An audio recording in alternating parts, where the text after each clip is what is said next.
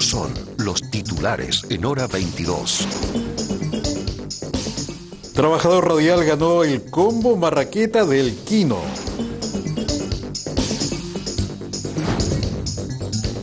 Agrupación de Mujeres Campesinas denuncia a OTEC por falta de compromisos.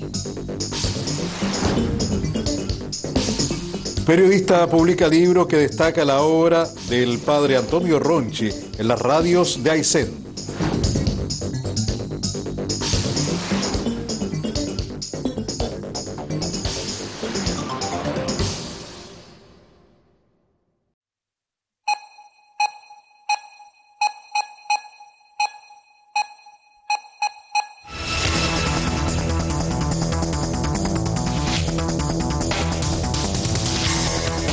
En Porcha. Aguas Patagonia. Y Energía Austral. Presentan en Canal 11 Puerto Aysén. Hora 22.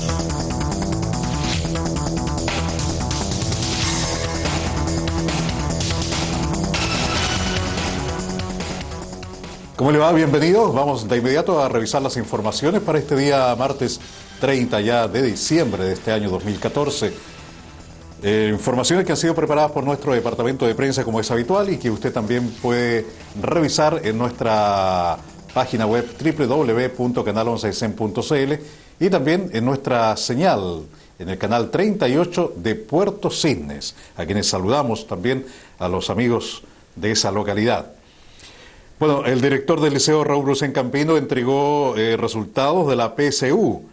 Esto es lo que manifestó el director del establecimiento en torno a los resultados obtenidos por los alumnos de este establecimiento. Llegó, como se dice vulgarmente, la hora de la verdad. Afortunadamente, como el Liceo Raúl Rosén Campino, eh, estamos contentos, no podemos negar, eh, pero también quiero manifestar eh, que este fue un trabajo mancomunado entre profesores, alumnos y, por qué no decir, también los padres apoderados, que tuvieron un eh, pendiente de sus hijos en la trayectoria eh, dentro de nuestro liceo. En cuanto al resultado de la PSU, en términos generales, eh, hubo buenos puntajes, pero lo que más a nosotros nos, nos alienta y nos, y nos tiene optimistas no es la cantidad de, grandes puntajes que, un liceo, un establecimiento educacional puede tener, sino la cantidad de alumnos que va a ingresar a la universidad. Pero dentro de los puntajes destacados, yo quiero mencionar, por ejemplo, a la alumna Javiera Carrasco en Ciencias Sociales, 692 puntos. En, en Ciencias, Viviana Coliboro, 656 puntos. En lenguaje, Mónica Guzmán, 646 puntos. En matemática, nuevamente Viviana Coliboro, 654 puntos. También quiero destacar a la alumna Bárbara Bustamante, que prácticamente en todos los certámenes que rindió obtuvo sobre 620 puntos. Una alumna que estuvo una eh, muy eh, eh, consistente su, sus pruebas. Pero más que los puntajes o destacar alumnos, yo quiero, porque al final lo que interesa a un liceo o a cualquier establecimiento de enseñanza media es poder eh, determinar en buenas cuentas eh, cuántos alumnos al final van a entrar a la educación superior. Y desde ese punto de vista yo quiero destacar, por ejemplo, que en ciencias sociales obtuvieron sobre 500 puntos el 50% de los alumnos, o sea, la mitad de los alumnos. En la prueba de lenguaje el 60% de los estudiantes obtuvo sobre 500 puntos. Recordemos que la cantidad de alumnos que rindieron la prueba aquí fueron 30 alumnos. En la prueba de matemática, el 65% estuvo sobre los 500 puntos. Y en ciencia, el 83% de los estudiantes estuvo sobre, eh, los 500 puntos.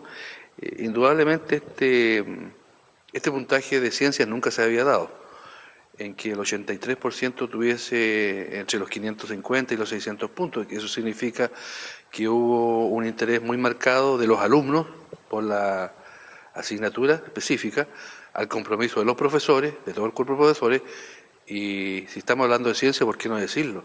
A los laboratorios eh, flamantes que tenemos de biología, química y física, prácticamente todo el segundo piso que da hacia calle Carrera son puros laboratorios. Entonces, eso indudablemente fue un, un aporte eh, que se vio y se tradujo finalmente en, eh, buenos puntajes. Em, creo yo que eh, los puntajes en esta, en esta oportunidad van a ser indudablemente un gran desafío para el próximo año, porque al menos hay que mantenerlo. Agrupación de Mujeres Campesinas denuncia falta de compromiso de OTEC. Esto es lo que da a conocer principalmente la presidenta de la agrupación y otras integrantes. Una queja en este caso con una OTEC que hace un tiempo atrás se ejecutó un curso de eh, envasado y sellado de al vacío de eh, hortalizas frescas esta, bueno, nuestra queja para con nuestra socia es porque hoy en día, eh, ayer recibimos un llamado eh, haciéndonos llegar que, eh, que lleguemos todas a hoy día al bus Suray a que nos correspondía un tipo de subsidio. Supuestamente nos correspondía un tipo de subsidio a, cada una de las usuarias, algo que nosotros no teníamos, no teníamos el conocimiento de que este proyecto eh, era de esa forma. Eh, a pesar de, bueno, la gran, asistió hoy día la gran mayoría de las mujeres que hicieron ese curso, eh, cinco minutos antes de, de, la cita que supuestamente nos, nos hicieron llegar, llamaron desde Coyhaique de la empresa GESCAP diciendo que no iban a poder llegar a asistir eh, al bus, al Suray, a, hacerle la, firma y la entrega del subsidio a estas mujeres porque tenían mucho documento que entregar y qué sé yo. Bueno, el enojo es eh, eh, la, falta de integridad, la falta de, de irresponsabilidad como OTEC de hacer llegar la falta de compromiso, eh, eh, de, hacer llegar a estas mujeres, que estas mujeres todas viven en difícil de acceso, en, Pangal, Río Blanco, etcétera, eh, la hicieron llegar, la gran mayoría paga locomoción muy alto costo, taxi 5, 8 mil pesos para poder venir a recibir un subsidio supuestamente que hoy en día se le iba a entregar a cada una de ellas. Además, hoy en día estamos a vísperas de la fiesta, a quien no lo sirve lo que sea, todo es bienvenido eh, eh, en este sentido el enojo es porque eh, ellos han querido de alguna forma hacer una burla con estas mujeres no solamente desde el momento de que se empezó el curso hemos tenido ciertos problemas, lo hemos tratado de solucionar, pero ya esto es lo que colmó el y rebalsó el vaso, se puede decir. Entonces, por eso es la fuscación, este reclamo lo estamos ya gestionando, haciéndolo llegar al director del CENSE también eh, por medio de CERNAM, porque este curso lo valida CERNAM. Eh, entonces estamos haciendo todas las conexiones para hacer el reclamo oficialmente y para que puedan darnos una respuesta sobre esto, porque um, eh, es una falta de integridad, juegan con la integridad de estas mujeres. Yo vengo a 12 kilómetros de acá de Aysén y de ahí tengo que caminar y con este tiempo malo, imagínense, y esta OTEC siempre se ha burlado de nosotros. Yo siempre les dije que la OTEC se burlaba de nosotros, porque somos campesinas, porque nos miran en menos muchas veces, pero siempre fue, para mí, esta OTEC fue muy mala. Y hoy día, y hoy día ya la completó porque a mí me llamaron ayer en la tarde y me dijeron que si yo no venía no le pagaban a ninguna. Imagínense, ahora son ellas las que no pueden venir. ¿En qué estamos? Está bien que nosotros seamos campesinas y todo, a lo mejor nos miren en menos y todo, pero si nos deben respeto. Y yo creo que la OTEC tiene que darnos una explicación y muy buena. Ayer me llamaron a mí que tenía una plata adentro, dijeron que son una plata y que baje urgente, porque si no, no le pagaban a nadie. ¿A ustedes les cuesta venir? Eh, me cuesta, porque cada pasaje a uno le cobra, a mí me cobran 5 mil pesos. Lo más barato, hay 6, 7 lucas. ¿Usted igual viene del sector Pangal? Sí, del sector Alto Pangal. Inés Flores. Sí, Alto y, sí, y también hicimos el curso y qué sé yo, y no tenía idea que existía ese subsidio. Y le pregunté de cuánto era el subsidio, no me quisieron decir. Es una platita, bueno, pensé yo a, nadie le sobra la plata en estos días. Así que me voy a, cobrar ese subsidio. Y, resulta que, no, que no llegaron que, y nos avisan a última hora, por, lo menos nos hubiera avisado más temprano. Por lo menos no vengo. Empezamos mal el curso y, y seguimos, vamos a terminar mal. Porque... ¿Y esto lo habían denunciado anteriormente ustedes? Eh, ¿Habían hecho presente la molestia o no? No, Ah, no, no, aguantado hasta acá. no, sí, no, sí, al CENSE sí, el CENSE sabía, estaban en conocimiento de que empezamos mal con el curso. Es una OTEC súper mala, son súper irresponsables, así que, bueno, la gente que es de más lejos es más, más preocupante porque ellos cuánto tienen que pagar para venir. Nosotros como nos queda más cerca no es, no es como tan, pero igual no. Si ellos dicen que hay un subsidio y di- dijeron que si faltaba una no le pagaban a nadie, entonces por eso es más la molestia y teníamos que estar a las 11. ¿Y llegaron todas las que estaban? Todas, todas, todas. Malo está, pues, malo, sí, pues, porque lo hicieron venir, uno deja sus cosas que hacer y por venir, pues a la hora, tiene que estar a las 11. Lamentable. Sí, pues, y de ahí yo dejamos los quehaceres de nuestro hogar y yo no pensaba que eran así los esencias. Trabajador Radial ganó el Gran Premio El Combo Marraqueta del Quino. La nota con Jimena González de la agencia Apoya, Aysén. Felices y felices de que apareció porque generalmente nos revisan los cartones, entonces no, y cliente conocido de nosotros, pues así que no, feliz, muy bien otorgado el premio. Cayó muy buena, pero por supuesto, no, felices, estamos contentos, ¿qué más puedo decir? Para Felices. también, pues colega de- del Eh, medio. de- del medio, exacto. Yo no sabía, fíjate que él trabajaba en eso. No, bien, muy bien.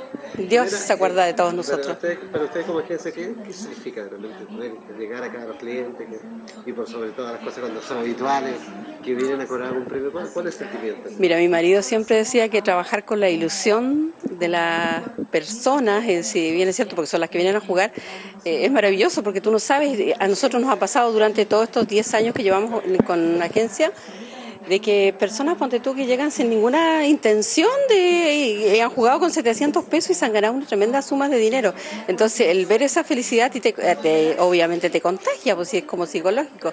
Y nosotros trabajamos para eso, o sea, nos gusta, la buena vibra siempre está presente, que es lo más importante en realidad. Así no te ganes nada, porque, bueno, para otra vez será, bueno, buena suerte en el amor, buena, mala suerte en el juego, cosas así que se dicen siempre, pero no, bien, bien Se genera un vínculo también con los jugadores. con los jugadores.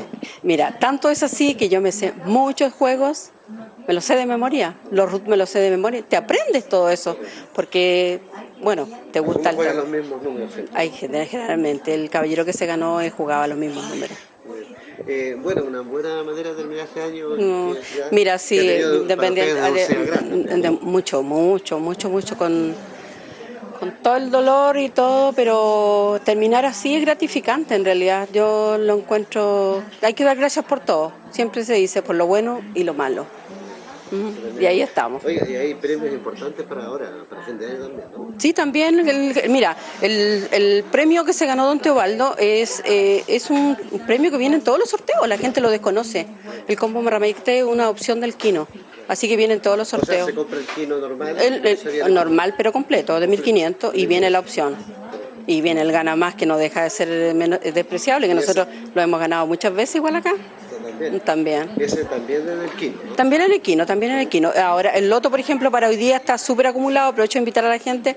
Bueno, no sé si va a ir alcanzarán, pero para hoy, eh, dos mil millones de pesos. ¿Mm? Bueno, después tenemos el viernes, terminar, Tenemos, termina el año. tenemos eh, no, pero, hacer pero 2015. en los juegos siguen igual, siguen su mismo recurso. El, nosotros tenemos sorteo martes, jueves y domingo de loto. Y de Quino tenemos miércoles y domingo. Entre medio tenemos imán, tenemos polla 4, loto 5, o sea, todo. Bueno, muchas gracias por entregarnos también. A ustedes igual por, por estar siempre al lado de uno y nada, por agradecer y brindarles que pasen unas felices fiestas junto a su familia, que todos trataremos de hacer lo mismo. La gobernadora provincial se refiere a situación judicial y a la falta de conservación de calles. Esto es lo que da a conocer en relación a estos temas abordados por nuestro departamento de prensa. Eh, ese tema tiene que seguir los cursos que corresponden, que es a través, ¿no es cierto?, eh, de la formalización que se hará eh, a fines de mes de enero.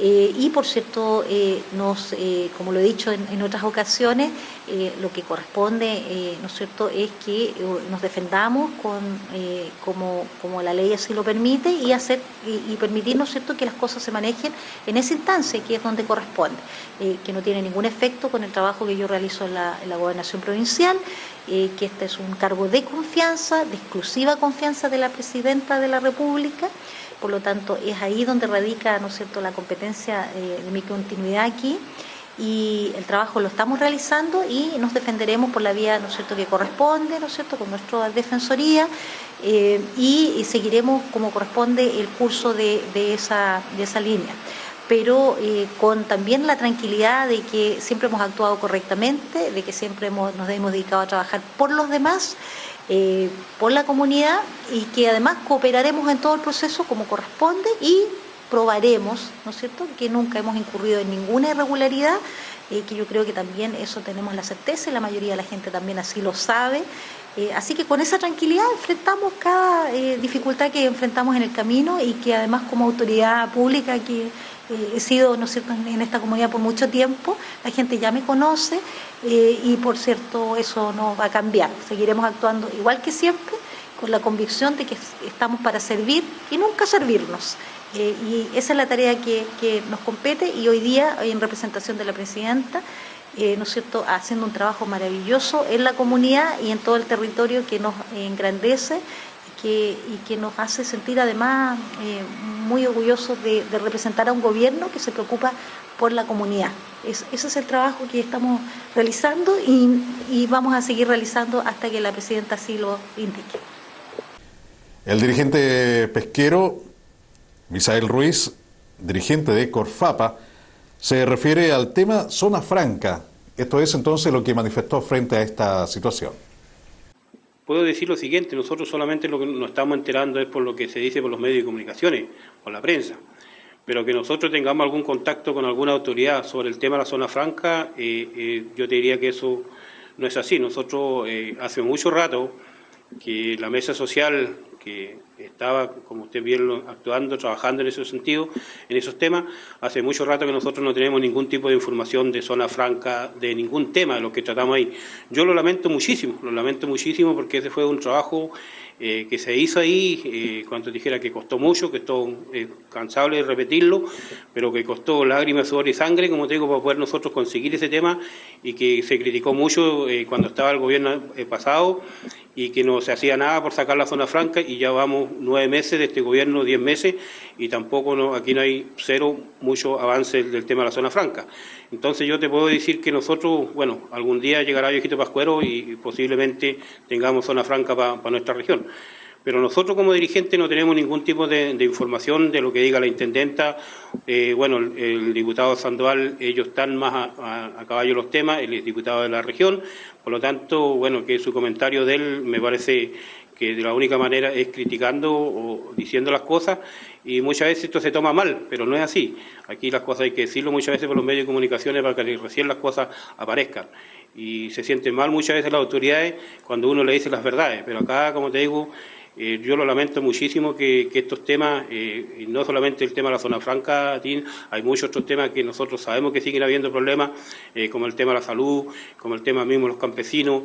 Hay muchas cosas que quedaron ahí y que, y que hoy día se inventó, como te digo, el tema del asunto de la de la, de la ley de la zona extrema y como te digo, primero era Plana Aysén, hoy día hay otra cosa, mañana no sé cuando caiga otro cambio de gobierno, no sé qué nombre le pondremos y así sucesivamente vamos tapando, como te digo, las cosas y aquí, como te digo, la gente se da cuenta el día a día que los comentarios que se dicen en la radio, que tantas cosas buenas eh, que hay y por qué no le llega a la gente, porque la gente sigue, como te digo, con las mismas preocupaciones, sigue la gente esperando que ojalá el sueño del pibe llegue algún día para esta región. Ya lo habíamos anunciado en uno de nuestros titulares. Periodista publica libro que destaca la obra del padre Antonio Ronchi en las radios de Aysén.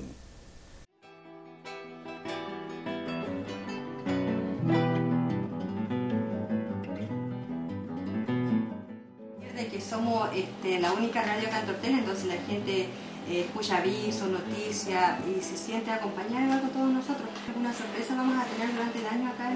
Sí, bueno, eh, este año como siempre la radio siempre ha sido comunitaria, digamos. Eh, el trabajo que siempre se hace en beneficio de quien requiera. Queremos hacer algún beneficio en grande para poder pagar lo que significa la realización de legalizar, legalizar la radio. La radio siempre ha funcionado a través de los vecinos. Eh, digamos, ellos son los que han estado siempre detrás del micrófono, eh, pobladores por supuesto que han contado experiencias más que nada y sin preparación profesional ni vocal, sino más bien con el deseo y las ganas de sacar adelante la radio. Yo le dije al padre Antonio, bueno, si usted tiene eh, la idea y realmente nosotros como pobladores siempre la idea era cómo poder sacar a una comunidad adelante, entonces yo le dije, eh, por mi parte, padre, no hay ningún problema, traigan nomás de alguna manera, la vamos a hacer funcionar en la emisora. La radio en sí, eh, en ese entonces, cuando aquí no había televisión, era algo, una herramienta muy útil para todos los casos de mensaje, de aviso, de salud musical, era entretención total. O sea, la gente escuchaba la radio, pero 100% no es como ahora. Cine tiene tres radios, pero los pioneros, lo que le pusimos el hombro en lo que es la radiofonía local, fue a través del padre Antonio, que es igual es importante rescatarlo y destacarlo. Hoy día pueden llegar muchas radios con tecnología y todo eso, pero en los años difíciles, ahí estuvo Ronchi y estuvimos nosotros con él.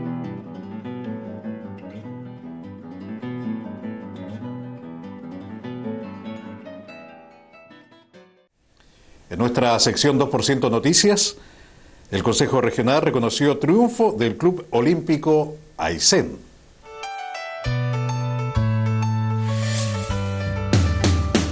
En la última sesión del Consejo Regional de Aysén de este año 2014 se realizó un reconocimiento a las integrantes del Club Olímpico de Gimnasia Aysén que lograron 13 medallas en una de sus últimas participaciones competitivas de este año fuera de la región. Tanto los consejeros y consejeras regionales como la intendenta regional destacaron el esfuerzo mancomunado de padres, deportistas y familia que a través de un proyecto de la línea 2 permitió financiar al club en el campeonato más importante a nivel nacional organizado por la Federación de Gimnasia Chilena.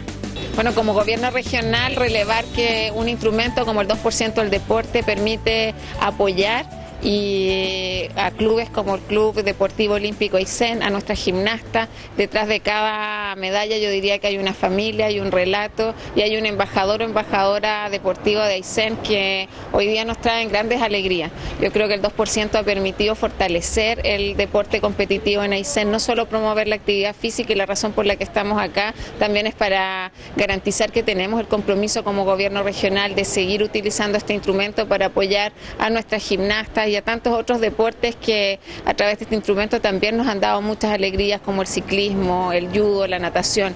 Hoy día la verdad que te queremos tener más Alison, Rocío, Pía, muchas mujeres y niñas de, de Aysén que nos han representado muy bien y que las medallas son el mejor reflejo de, de ese hecho. Las preseas fueron logradas por Rocío Álvarez Quesada, quien obtuvo primer lugar y medalla de oro en el aparato barras asimétricas y tercer lugar y medalla de bronce all round, esto es, en la sumatoria de los cuatro aparatos. Por su parte, Pía Acevedo Albornoz obtuvo segundo lugar y medalla de plata en el aparato Viga de Equilibrio. También Carolina Vera Naguil obtuvo el primer lugar y medalla de oro en el aparato Viga de Equilibrio y segundo lugar y medalla de plata All Around.